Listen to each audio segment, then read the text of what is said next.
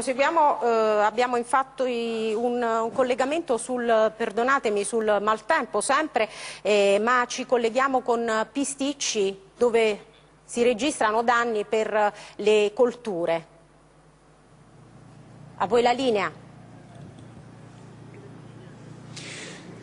Sì, eccoci, prendiamo la linea da Piazza Elettra a Marconia dove ancora una volta il Comitato Difendiamo le Terre Ioniche è costretto a tornare in piazza dopo la terribile alluvione che il 7 ottobre scorso ha provocato al confine tra Puglia e Basilicata anche quattro morti oltre a decine di milioni di euro di danni. Una lunga giornata di protesta che partirà proprio da questa piazza tra poco più di un'ora e che vedrà eh, una continuazione in Puglia, a Ginosa, da dove partirà un altro corteo. I due cortei si incontreranno a metà strada per poi marciare insieme lentamente sulla superstrada 106 Ionica per arrivare fino a Metaponto dove è in programma una grande assemblea popolare. Quali sono le richieste degli alluvionati di Puglia e Basilicata? Lo chiediamo al portavoce del Movimento Terre Ioniche Gianni Fabri.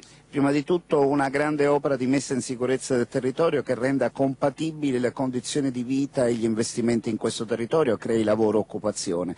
Poi nel merito serve chiudere ancora l'avvertenza del 2011, ancora mille problemi aperti, pochi spiccioli arrivati a fronte di 550 milioni di euro di danni fra Puglia e Basilicata, serve soprattutto aprire una stagione nuova eh, per questa nuova alluvione, ordinanze immediatamente, soldi certi e risarcimenti per le attività economiche e le famiglie che hanno avuto i danni. Una lunga giornata di protesta che la TGR ovviamente seguirà in diretta con le sue telecamere. Per il momento da Pisticcio è tutto, la linea torna a voi.